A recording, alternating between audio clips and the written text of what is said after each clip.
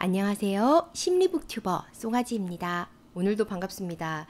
오늘 영상은 지난 영상에 이어서 가족 상담 공부합시다 영상 두 번째 시간입니다. 그래서 어, 지난 영상 보시지 않으신 분들은 어, 지난 영상 보고 오시면은 훨씬 더 이해가 빠르실 겁니다. 물론 어, 가족 상담과 관련해서 잘 아시는 분들은 아니면 어, 관련 전공생들은 그냥 지금부터 보셔도 상관이 없습니다. 지난 영상에서는 어, 그 가족 상담과 관련한 전공서 두 권을 어, 제가 요약한 노트를 가지고 아주 기초적인 내용이죠. 가족 상담의 그 이론적인 기초가 되는 그런 파트에 대해서 나누었고요. 오늘은 어, 이제 본격적으로 가족 상담 이론에 대해서 어, 한번 나누어 볼까 합니다. 그럼 바로 시작해 보도록 하죠. 제일 먼저 나오는 게 잠깐 제가 마이크를 조금 당길게요. 네, 소리가 났죠.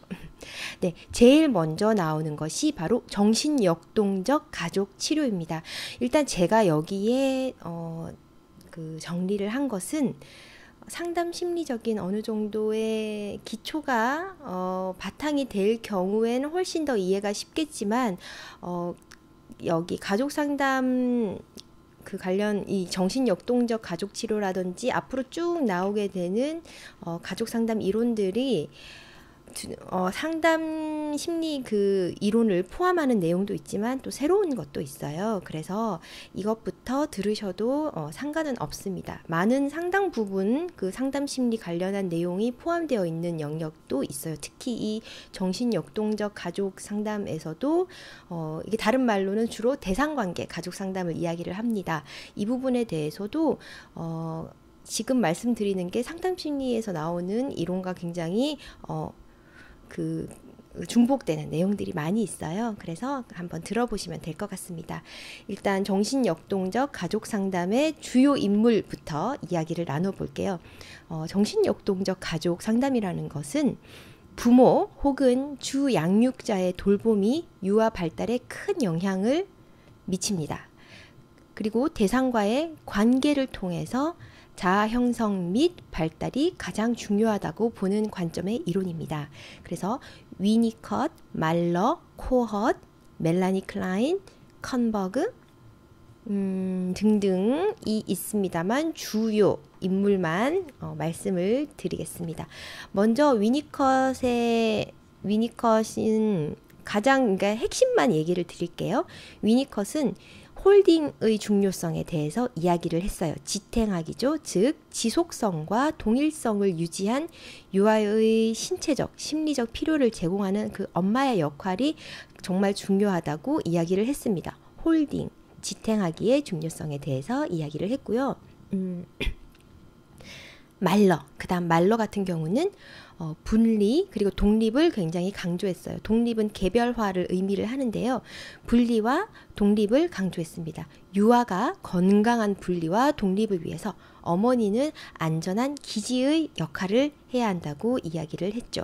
저는 정말 핵심만 얘기하고 있어요. 사실 이분 한 분한 한 분의 이론을 이렇게 두세 줄로 요약할 수는 없지만 지금은 개론서이기 때문에 이만큼만 하고 넘어가는 겁니다.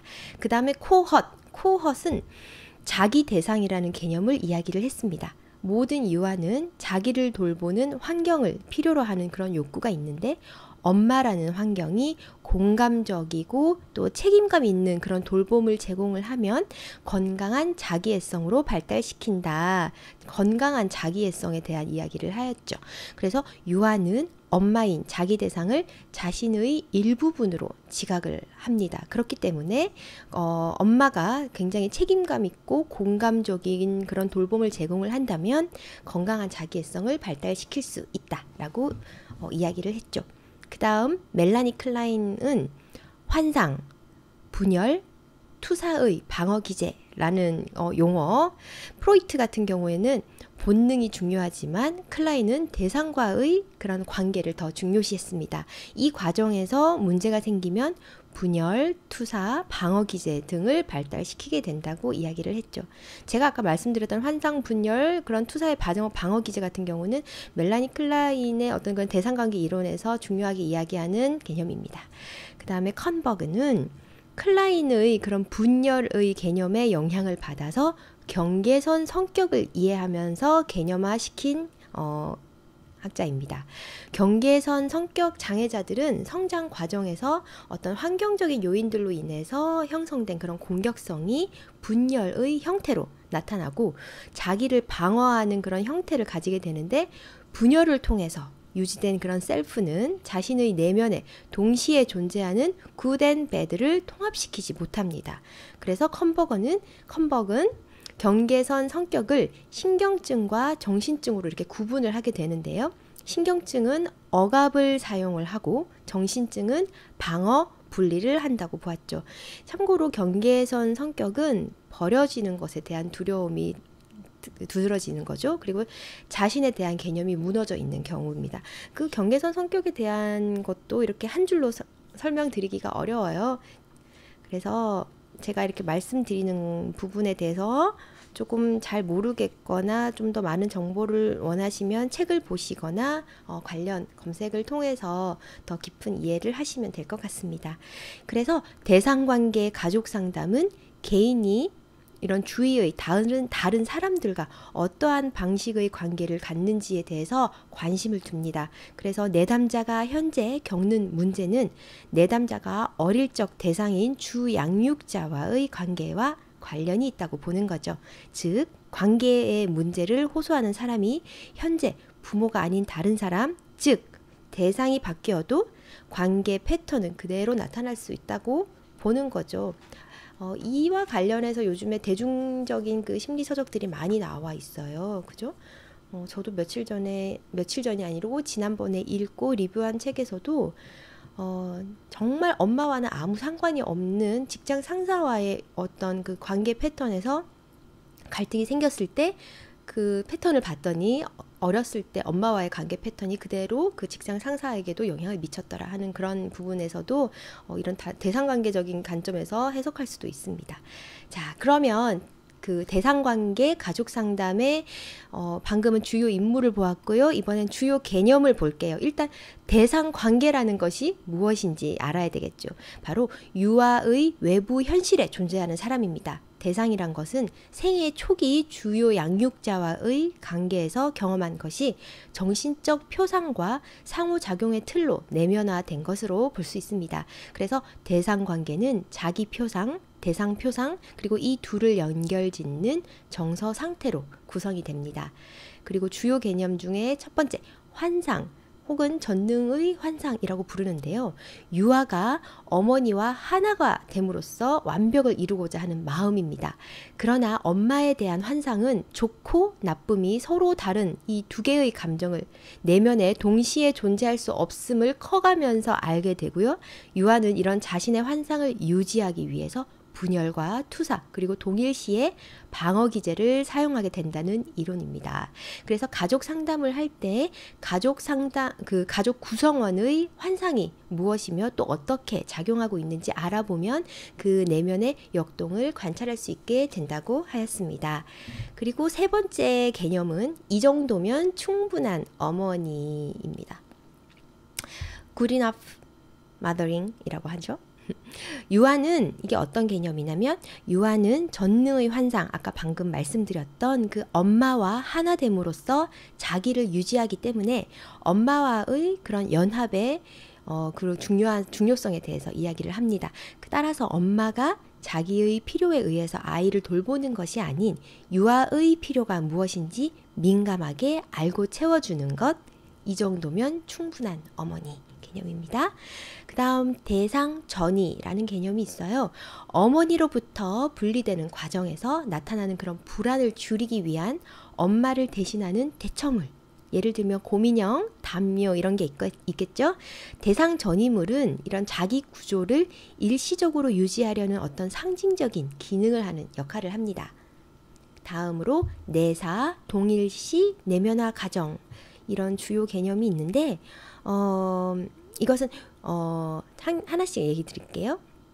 외부 외부의 그런 존재로서의 대상이 내부 세계로 들어오므로 유아의 그 마음 안에 정신적인 현, 형상으로 남는 것이 내사입니다. 그래서 처음에는 좋고 나쁨의 이런 구분이 없이 조직되지 않은 채로 자기 안으로 이렇게 던져 넣는 식의 내사를 하는 거죠. 아주 어릴 때는. 근데 점점 통합해 가면서 통합이 되어 가면서 내면화 과정을 거치게 됩니다. 그리고 진정한 내 것으로 만들어 가는 거죠. 그래서 내면화 과정에서는 두 번째 동일시가 일어납니다. 이거는 엄마가 유아에게 긍정적으로 뭐 너무 이쁜 우리 딸 쪽쪽쪽 이렇게 해주면 아이도 동일하게 인형에다가 이렇게 자기의 그런 어 뭐 아까 전에 말씀드렸던 뭐지 대체물 엄마를 대체하는 뭐 대체물까지는 아니지만 뭐 인형이라든지 그런 대상에게 어 너무 이쁜 우리 인형 뭐 이런 식으로 우리 곰인형 이렇게 쭉 이렇게 상호작용을 한다라는 겁니다. 이것을 여러 번 경험을 하고 또 모방하고 이런 동일시를 하는 과정을 거치면서 내면적 구조를 만들어 나간다는 거죠. 그래서 내사가 동일시보다 좀 더 무의식적이라고 어, 합니다. 분열. 네, 분열. 분열이란 말은 참 많이 쓰이죠. 유아가 초기 양육자와의 그런 경험에서 만족과 불만족 혹은 좋음, 나쁨 등 이런 원시적인 방어적인 분열을 합니다. 발달 초기의 그런 과정에서는 정상적인 과정이죠, 이게. 근데 이것이 고착되면 어떤 자신의 정체성을 통합시키지 못하게 되고요. 또 성인이 된 이후에 대인 관계가 매우 불안정해집니다. 스스로에 대해서도 또 혹은 사회적으로 이런 성공, 실패, 혹은 난 유능해, 혹은 난 쓸모없어 등으로 이렇게 어, 이분법적으로 나눠지는 거죠. 자신의 정체성을 이렇게 통합시키지 못하고요. 그래서 이런 이런 이분법적인 생각과 통합시키지 못하는 생각이 경계선적 성, 경계선적 경계선적 어, 발음이 왜 이렇게 어렵지? 성격 장애의 그런 원조 그리고 이런 영향을 주죠. 컴버그가 얘기했던 그 다음에 투사. 투사는 아까 말씀드렸던 내사와 반대되는 개념입니다. 외부의 경험을 안으로 쏘는 것이 내사였다면 내부적인 상태를 외부로 쏘는 것이 투사입니다. 그래서 분열의 결과로 자신의 이런 부정적인 감정을 외부 대상에게 전가를 하는 거죠. 그리고 자신을 좋은 사람으로 인식을 하는 것입니다. 어, 이런 방어 기제죠. 요한은 이런 발달 초기 단계의 이런 분열의 자아 구조에 이렇게 머물게 됨으로써 좋음과 나쁨을 동시에 받아들일 수가 없기 때문에 나쁨을 외부로 던져버리는 겁니다. 그러, 그렇게 함으로써 자아 구조를 유지하려고 하는 거죠. 근데 이것도 마찬가지로 이런 것만 계속 하려고 하면은 고착이 됩니다. 그래서 이것이 고착되면 성격으로 이어질 수가 있죠.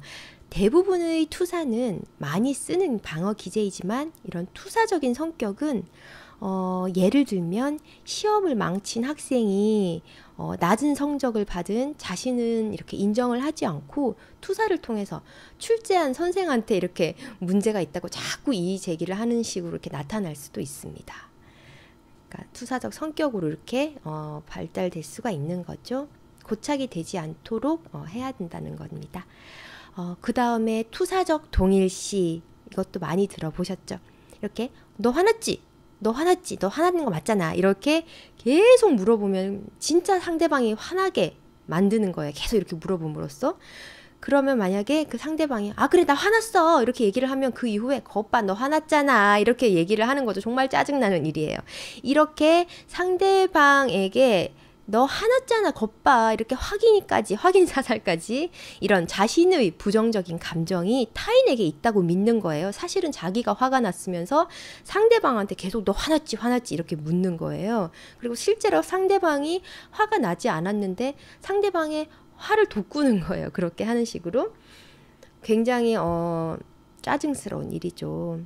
그래서 자신의 어떤 부정적인 감정이 타인에게 있다고 믿고 그 사실을 확인하고 실제로 그 타인이 그렇게 행동하도록 만드는 거예요. 이거는 유아의 어떤 내면에 짜증이라는 감정을 수용하지 못하면 대상인 엄마라든지 어떤 다른 사람에게 이렇게 짜증을 내보내어서 실제로 엄마가 짜증이 나게 만드는 겁니다. 그래서 엄마들이 여기에 걸려들면 안 돼요. 근데 상대방의 그 상대방 대상이 짜증을 내거나 화를 내게 만들고 또 그것이 확인이 되면은 막상 자신, 그 본인은 차분해집니다.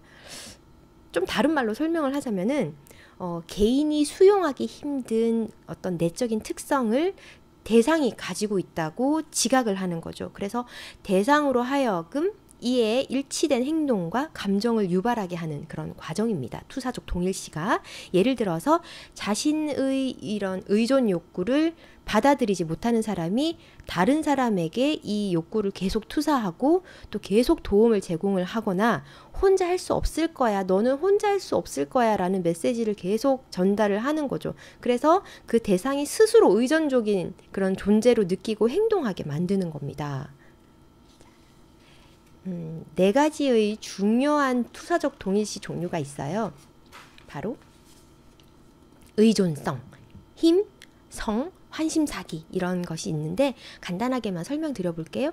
의존성은 초기 어머니가 과잉보호 혹은 허용적인 태도로 모든 결정이라든지 이런 선택을 대신을 대신한 경우에 어, 그 아이는 난 스스로 할 수 없다 무기력 해지면서 대인 관계에 있어서 자신의 약함이라든지 그런 무력함을 드러내고요. 또 상대방의 끝없는 돌봄 반응을 유발을 하게 되는 겁니다. 즉, 의존성 투사적 동일시를 하게 된다는 거죠. 그럼 두 번째, 힘은 초기 관계에서 어, 난 널 돌보기가 힘들어. 엄마가 너가 날 좀 돌봐다오. 혹은 나는 널 원치 않았어.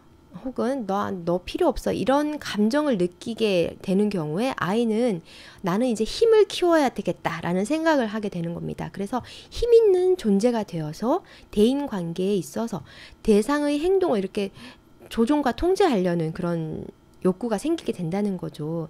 넌 스스로 살 수가 없어. 내가 통제해야 돼. 내가 널 조절함으로써 통제함으로써 넌 나로 인해서 살 수 있어 이런 생각이 들게끔 대인에게 그러니까 타인에게 그렇게 행동하게끔 만드는 거죠.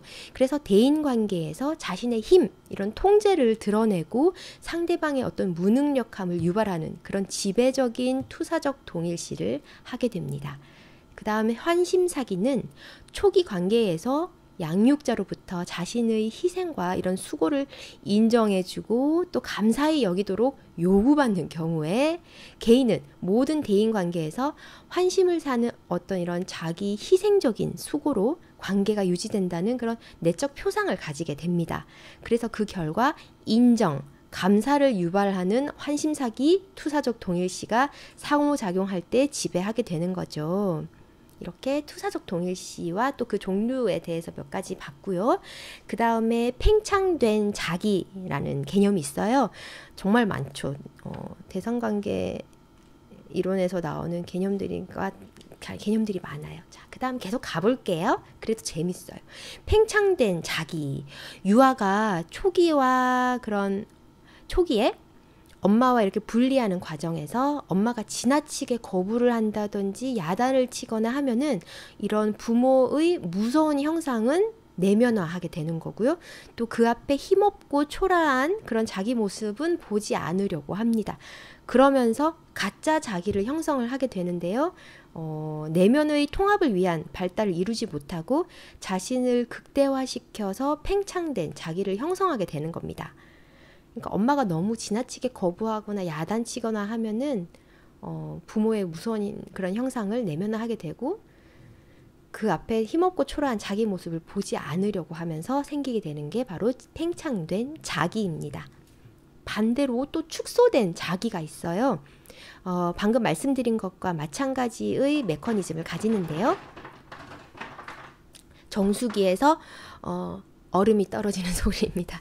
어쨌든 자 엄마가 그런 통제하는 그런 모습에서 유아가 자신의 욕구에 이런 반응을 한다기보다는 엄마의 욕구에 어, 민감해지게 되는 거죠.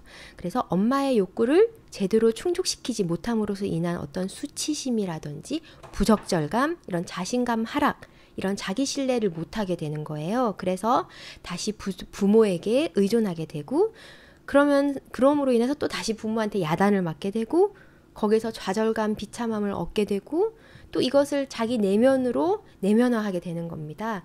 이게 이제 주된 정서가 되는 거죠. 그럼으로써 자신을 점점 축소시키게 되는 겁니다. 축소된 자기. 여기까지 어, 간단하게 그 대상 관계 대상 관계 이론의 개념이 있죠. 꼭 대상 관계 가족 상담뿐만 아니라 그 안에 다 똑같이 해당되는 거니까요. 그래서 가족 대상 관계 가족 상담의 목표는 현재의 이런 가족 관계를 왜곡시키는 과거 혹은 부모나 양육자와의 관계 그 관계 패턴에서 벗어나서 지금 현실의 가족과 건강하게 상호작용을 하도록 돕는 것에 목표가 있습니다. 그래서 통합된 자아를 만들어 나가야 한다는 거죠. 그리고 이 과정에서 어떤 정서적인 경험이 있었는지를 체크하고요. 또 인식을 하도록 돕습니다. 그래서 정신 역동적인 상담은 어떤 가족원들의 통찰, 그리고 이해력 높이기에 집중이 됩니다. 가장 중요한 거는 통합되지 않은 이런 좋고 나쁨 이런 식의 이분법적인 형태를 어, 통합시키는 거예요. 음. 그래서 공부를 안 하면 큰일 난다. 이런 좀 극단적인 거.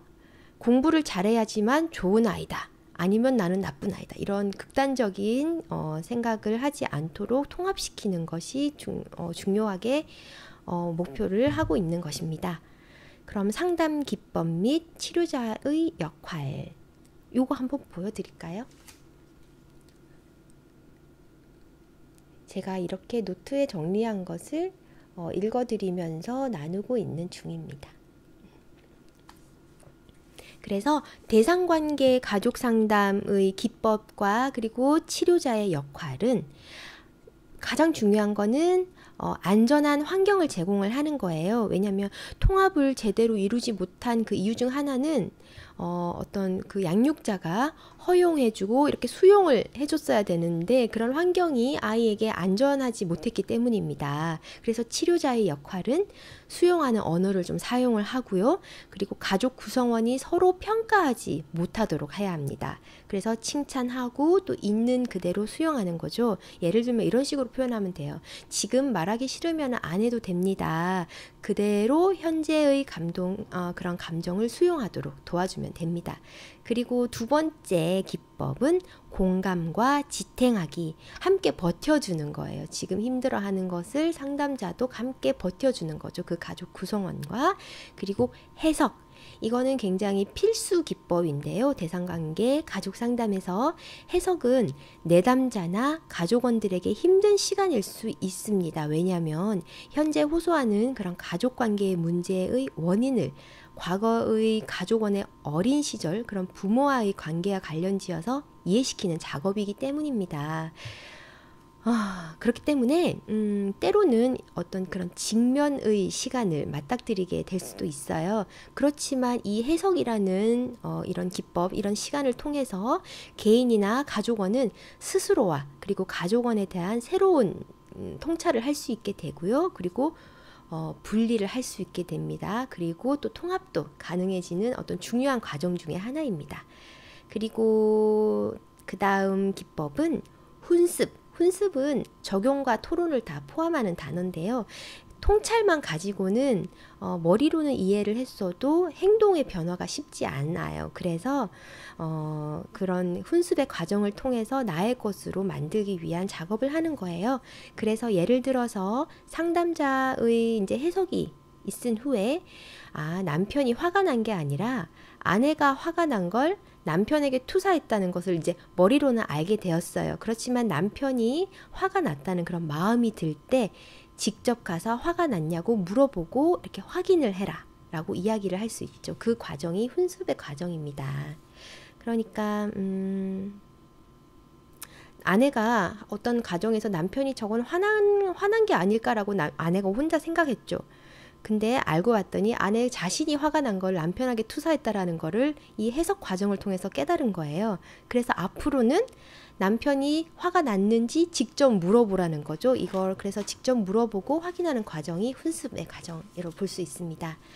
어, 나름 조금 정리를 하자면 대상관계 가족 상담에서는 가족이 이런 고질적인 역기능적인 상호작용의 어떤 패턴 그리고 어떤 부분에 투사적 동일시가 있는지 그리고 분열 등에 대한 통찰을 얻게 되면은 상담자는 가족원들이 투사적 동일 시 분열이 아닌 다른 상호적인 방식, 상호작용 방식이 있음을 알게 할 수 있습니다. 그래서 지금 현실 그대로의 상대방 그리고 가족원을 볼 수 있도록 하고요. 더 적합하게 서로에게 반응할 수 있도록 돕는 것이 바로 대상관계 가족 상담입니다. 자, 그럼 대상관계 가족 상담 정리는 끝났고요. 정말 간단하게 요약을 했죠. 그 다음은 보엔의 다세대 가족 상담, 보엔의 다세대 가족 치료 부분입니다. 먼저 이론, 이론적인 배경부터 조금 알려드릴게요. 어, 대상 관계보다 원 가족을 특히 3세대 이상의 관계를 파악을 해서 더 철저하게 분석을 하고요. 가족을 하나의 체계로 봅니다. 그래서 그 체계 안에서 개인의 변화를 어, 꾀하고자 하는 그런 이론입니다. 그래서 가족의 문제를 바라볼 때 3세대 이상의 가족 구조 그리고 관계를 가계도 분석을 통해서 파악합니다. 보엔의 이론은 그 체계 이론이라는 철학적인 배경을 가지고 있습니다. 즉 전체는 부분의 합 이상이다. 그래서 가족은 단순히 가족 구성원들의 합 이상이다 라고 보고 있는 거죠. 그래서 가족은 홀로 존재하는 것이 아니라 더 큰 상위 체계와 관계를 고려해야 한다는 것이 어, 이론적인 배경의 어, 어떤 요약 내용입니다. 그래서 보엔의 다소, 다세대 이론, 다세대 가족 상담 주요 개념을 한번 보도록 하죠. 가장 중요하게 나오는 그 개념들 을 설명을 해드릴게요. 먼저 자아 분화, 자아 분화가 있습니다. 어, 이거는 보엔의 핵심 개념입니다. 개인이 원 가족의 어떤 정서적인 융합에서 벗어나서 이런 정서적인 스트레스를 주는 문제가 발생하더라도 불안에 의해 자동적으로 반응하지 않고요. 자율적으로 기능하는 온전한 나로서 현명하게 사고하는 능력을 이야기를 하죠. 그래서 이 자아 분화라는 것은 정신 내적인 개념인 동시에 그러니까 사고 기능이 감정 기능에서 원활하게 분리되는 것. 이야기하죠. 이런 정신 내적인 개념인 동시에 대인 관계적인 측면도 가지고 있습니다. 그래서 다른 사람들과 구별되는 신념과 어떤 독립적인 행동을 포함하는 거죠. 그래서 분화라는 것은 좀 반대 반대되는 말을 먼저 설명을 드리면 분화의 반대는 융합이에요. 그래서 그 외에 또 단절 관계도 있는데 그 밑바탕은 어, 불안입니다. 그래서 자아 분화라는 것은 이 불안에서부터 자유로워진다고 보았죠. 그리고 자아 분화 수준이 있어요. 자아 분화가 이제 뭐 0에 0하고 100만 있는 게 아니고 이 수준이 다 있는데 자아 분화 수준이 높지 않을 때 나타나는 것은 과대 기능, 과소 기능 있습니다. 근데 과대 기능 같은 경우에는 어, 타인의 기대를 모두 충족시키기 위해서 부지런히 움직이고 이런 아낌없는 희생을 하고 그런데 과소 기능 같은 경우에는 이제 문제를 드러내면서 이렇게 증상을 드러내면서 타인에 반응하는 것을 매우 버거워하는 거죠. 그래서 이 두 기능은 보통 짝을 이루고 있어요. 그래서 부부 중에 한 명, 뭐 아내가 과대면 과대 기능을 하고 있으면 남편은 과소 기능을 한다든지 이렇게 보통 짝을 이루면서 나타나는 경우가 많습니다. 그래서 과대 기능을 하는 아내는 자신을 피해자라고 생각을 하는 거고요. 과소기능의 남편은 우울증, 뭐 무기력감 이런 것을 호소할 가능성이 높죠. 근데 이 둘 다 어떤 다른 반응적인 행동으로 나타났긴 하지만 한 명은 과대 기능으로 나타나고 한 명은 과소 기능으로 나타났지만 또 둘 다 똑같이 그 밑바탕은 불안이라는 겁니다. 그래서 한번 잠깐 여기서 자아 분화 수준이 높은 사람은 어떤지 그리고 자아 분화 수준이 낮은 사람은 어떤지 잠깐 한번 알려드릴게요. 자아 분화 수준이 높은 사람인 경우에는 장기적인 관점으로 행동합니다. 그리고 불안한 상황에서도 자기 조절을 하면서 충분한 사고 과정을 통해 자신의 신념에 따라 행동을 하죠. 그리고 감정과 이성이 굉장히 균형 잡혀 있고요.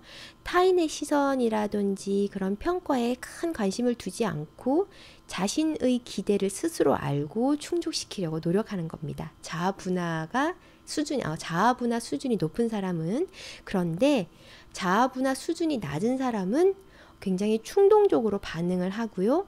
당장의 불안에만 이렇게 급급해서 그것을 막 해소하려고 합니다. 그리고 자신의 어떤 자주성을 유지하지 못하고요. 타인, 타인에게 맹종하거나 무조건적인 반항을 하게 됩니다. 그래서 객관적인 사고 혹은 객관적인 사실과 어떤 주관적인 그런 감정을 잘 구분하지 못합니다. 그리고 타인의 시선과 평가에 매우 민감하고 또 타인의 기대를 충족시키려고 굉장히 노력하는 모습이 나타날 수가 있어요. 누가 자아분화 수준이 낮은 사람이. 여기까지 본 것이 바로 자아분화 개념에 대해서 설명을 했고요. 이제 보엔의 다세대 가족 상담의 두 번째 개념인 정서적 삼각관계에 대해서 말씀드릴게요. 어, 안정적이지 못한 관계를 가진 두 사람이 자신들의 관계를 안정적으로 유지하기 위해서 제3자를 끌어, 끌어들여, 끌어들이는 그런 정서적인 역동을 말하고 있습니다. 즉, 두 사람은요, 자신들의 어떤 역기능적인 관계에 에너지를 쏟는다기 보다는 제3자를 투입해서 그 산, 그 제3자에게 에너지 방향을 확 트는 거죠. 그래서 실제 그 두 사람의 갈등을 피하려고 하는 겁니다. 대표적으로 예를 들면은 갈등 있는 부부와 자녀가 만드는 삼각관계죠. 그래서 어, 남편과 아내가 싸우는데 괜히 애한테 신경질을 내는 겁니다. 근데 자녀가 두 명 이상인 경우에 나머지 자녀는 어, 두 명 중 자녀가 두 명일 때 한 명의 자녀는 이렇게 희생양이 될 수가 있어요. 정서적 삼각관계에. 그런데 나머지 한 자녀는 어, 부모의 불안으로부터 상대적으로 좀 자유로워질 수가 있어요. 그리고 반드시 제3자가 어, 사람이라든지 꼭 가족 구성원이 아닐 수도 있어요. 뭐 내연녀라든지 공부, 공부라는 것이 될 수도 있고요. 또 일 중독이 될 수도 있고 뭐 강아지가 될 수도 있어요. 무엇이든 간에 어떤 그런 불안한 두 명의 관계를 해결하지 못해서 끌어들이는 것이 바로 삼각관계의 요소가 되는 겁니다. 어, 근데 이게 막 실제로 막 삼각관계가 눈에 보이는 게 아니라 이게 정서적인 역동인 거죠. 그래서 엄마와 아들이 음, 엄마와 아들이 오랫동안 불화를 겪은 겨, 겪을 경우에 엄마와 아버지는 그리고 아들과 아버지 사이는 안정이 유지될 수가 있어요. 그러니까 아버지는 가정의 평화를 위해서 자기 의견을 내세우지 않기로 결심을 하는 거죠. 그래서 그 결과 부부 사이 문제는 이렇게 표면화되지는 않습니다.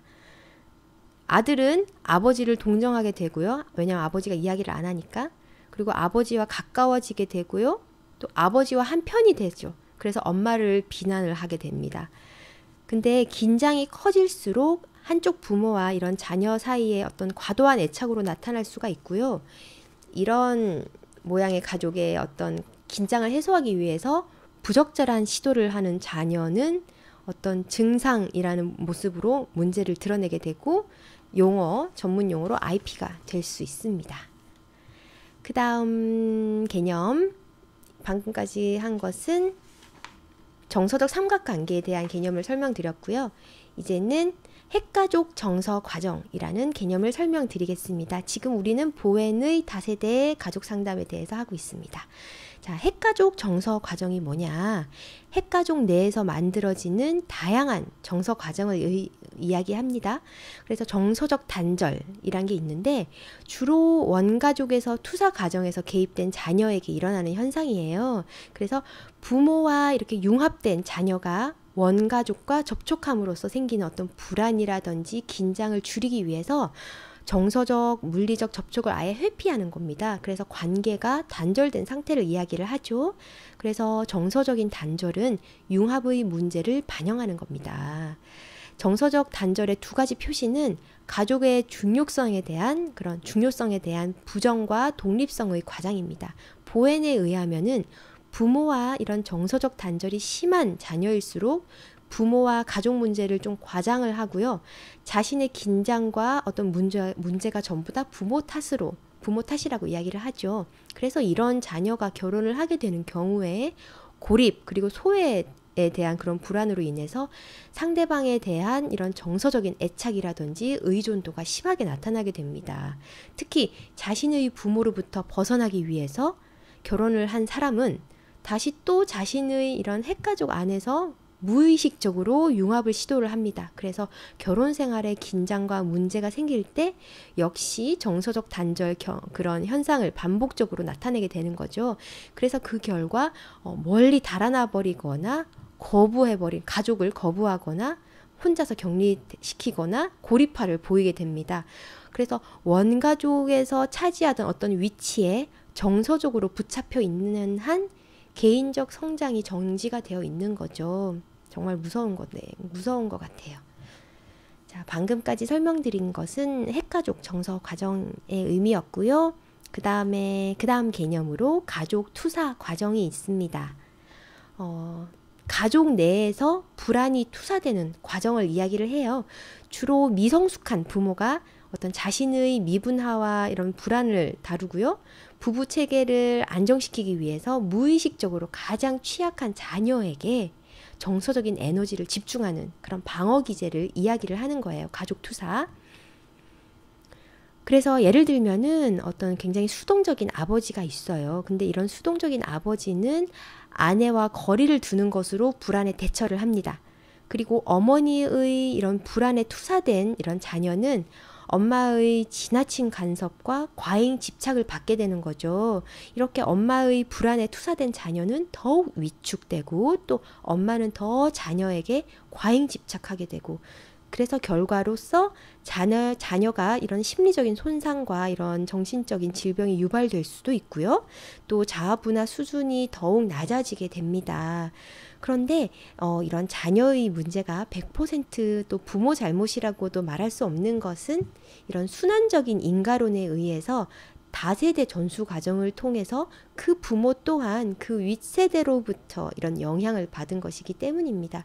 이런 정서적인 흐름이 세대를 타고 흐른다는 거죠. 다세대 전수 과정. 그래서 보혜는 다세대 가족 상담이라고 이렇게 부르는 겁니다.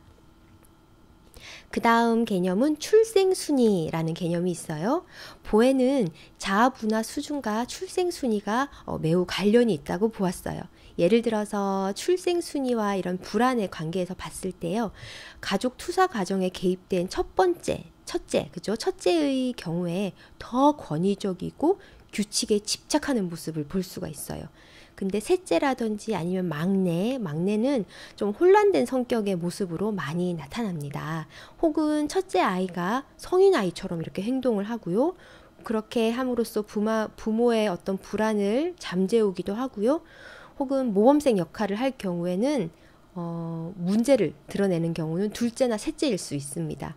이 결과 첫째는 더욱 권위적이고 모범적이고 성인 아이의 역할에 좀 집착하게 되는, 된다는 거죠. 이렇게 자아 분화 수준이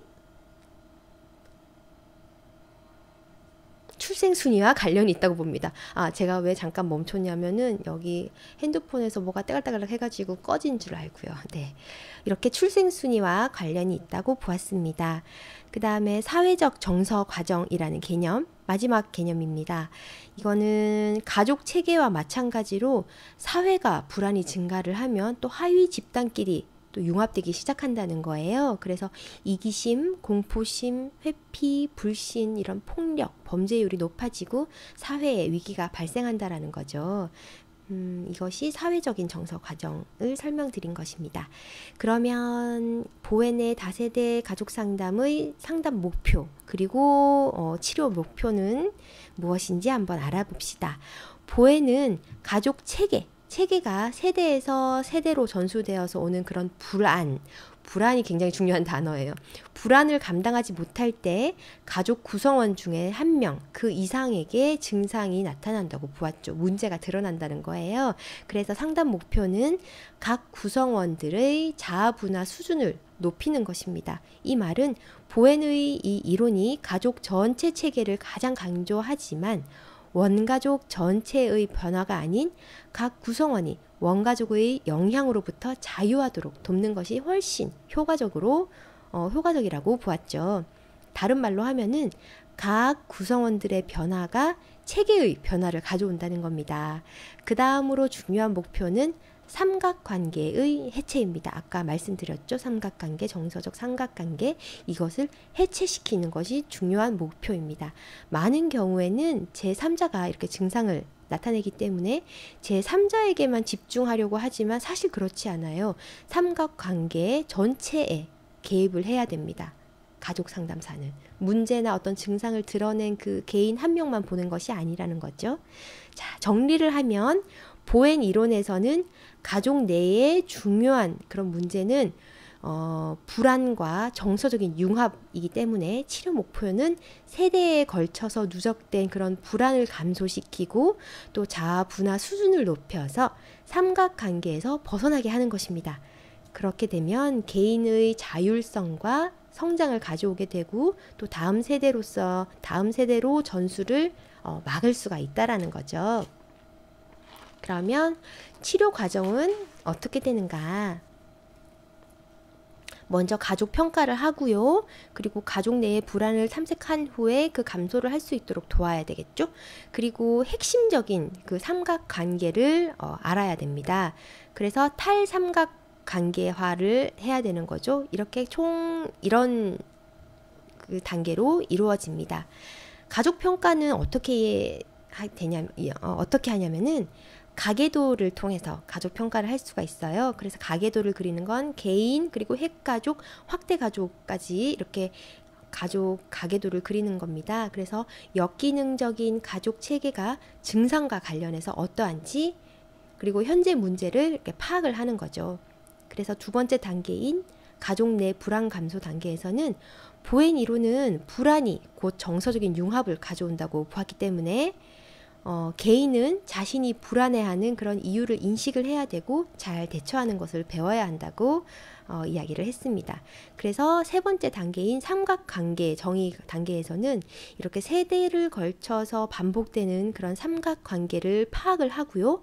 그리고 문제 증상과 관련된 어떤 핵심적인 삼각관계 범위를 정의를 해야 한다고 보았습니다. 그래서 마지막으로 탈삼각관계화는 어떻게 이루어지냐면 개인이 가족 안에서 정서적인 갈등을 하는 대신에 적당한 거리를 두어서 관계를 유지하도록 하고요. 가족의 반응에 객관적이고 이성적인 자세로 대응을 하도록 돕습니다.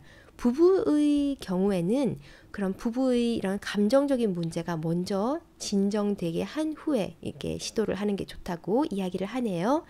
그러면 보엔의 다세대 가족 상담에서 그 이 상담에서 상담자의 역할은 어떤 것이냐면 우선 상담자 자체가 자아 분화 수준이 높아야 합니다. 아무나 못하겠죠? 그래서 상담을 할 때 부부라든지 이런 가족 구성원이 상담자와 새로운 어, 긍정적인 이런 삼각 관계를 형성을 하려고 할때 어, 이를 좀 알아차리고 음 그러니까 가족 구성원이 어, 본래의 원가족에서 그런 정서적 삼각관계에 자꾸 이렇게 어, 있었다는 거죠. 그래서 또 상담자가 개입을 해서 가족 상담이 이제 시작되려고 하면은 이 원래 원가족이 또 새롭게 이 상담자와 또 삼각관계를 만들려고 한다는 거예요. 그래서 이것을 상담자는 알아차릴 수가 있어야 되고 이때 정서적인 반응을 하는 게 아니라 이성적이고 객관적인 태도를 취해야 한다고 이야기를 하고 있습니다.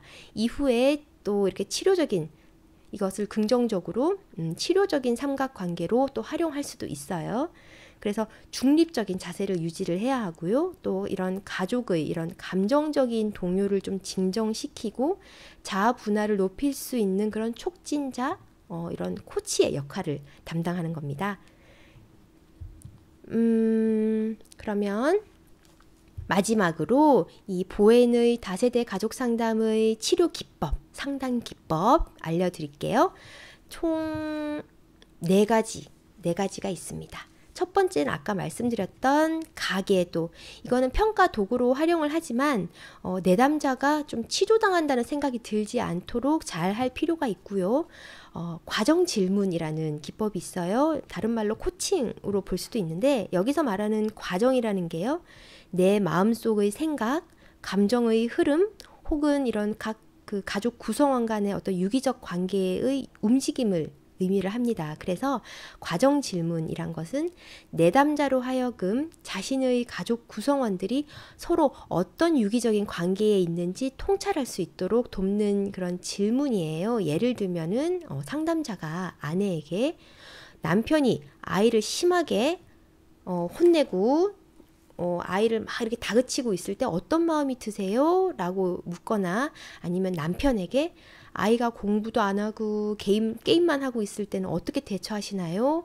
혹은 뭐 아내에게 큰 아이가 게임만 한다고 아빠한테 혼나고 있을 때 동생은 뭘 하고 있으며 그 모습을 보면 마음이 어떠신가요? 이런 식으로 과정 질문은요, 가족이 어떤 체계적인 특징에 대해서 깨닫고 한 두 사람만 비난하는 것에서 벗어나서 가족이 체계 전체를 바라볼 수 있게 돕고 변화를 하도록 격려하는 방식입니다. 그 다음에, 음, 세 번째 기법은 나 입장 취하기입니다. 그러니까 상대방을 비난하지 않고 자신의 감정 그리고 자신의 현재 의견을 표현하도록 하는 거예요. 그 아이 메시지 전달법하고 비슷하게 보시면 될 것 같아요. 그 다음에 마지막 네 번째 기법은 관계 실험 혹은 관계성 실험이라는 기법인데 이거는 평소와 정반대의 방식으로 갈등에 대처하도록 하는 겁니다. 그래서 중요한 삼각관계에 있어서 이런 변화를 일으키는 거죠. 그래서 정서적으로 가까이 가고자 하는 사람과 혹은 도망치려는 사람을 치료하기에 적합한 방법입니다. 어, 그 용어로서는 추적자 혹은 도망자 이렇게 이름을 딱 붙이고요. 대개 이런 추적 자들의 특징이 남편과 좀 더 결속하려고 하고 남편에게 좀 더 집착하려는 것과 반대의 이런 행동을 할 수 있도록 깨달음을 주는 질문을 하는 거죠. 예를 들면 도망자를 쫓는 이유가 뭐세요? 그러니까 남편한테 왜 자꾸 그렇게 집착하려고 하세요? 이렇게 묻는 거죠. 혹은 당신이 당신의 삶에서 어, 남편 말고 다른 건 없나요? 이렇게 도망자에게도 관계를 회피하지 않고 또 자신의 생각과 감정을 표현해 볼 수 있도록 설명하도록 이렇게 격려하고 연습시키고 이렇게 실천하게 하는 겁니다. 그래서 평소와는 다른 방식으로 남편을 남편에게 집착하고 다그치던 아내는 어, 그거를 깨달을 수 있도록 하고 맨날 도망치던 남편에게는 어, 자신의 생각과 감정을 좀 표현하도록 반대의 행동을 해보도록 하는 거죠. 여기까지가 음, 보엔의 다세대 상담, 가족 상담의 기법 네 가지였어요. 그리고 이제 보엔의 가족 상담이 여기까지가 제가 어, 정리한 게 끝이네요. 그래서 보엔의 가족 상담 이론에 대해서 좀 더 보고 싶은, 좀더 알고 싶으신 분들은 어, 또 단일 책들이 굉장히 많아요. 저는 지금 보엔에 관련해서는 어, 또 전공 서적 따로 보지는 않았어요. 또 다른 여러 가지 조그마한 책들을 통해서는 많이 접했지만 어, 보엔 것만 따로는 공부를 안 해서 저는 또 그 책을 따로 한번 볼 예정입니다. 어, 그럴 때 되면 다시 또 그 보엔에 대해서 한 번더저 설명드릴 기회가 있지 않을까 싶네요. 자, 그러면 이제 다음으로는 사티어, 사티어의 경험적 가족 치료로 넘어가 보도록 하겠습니다.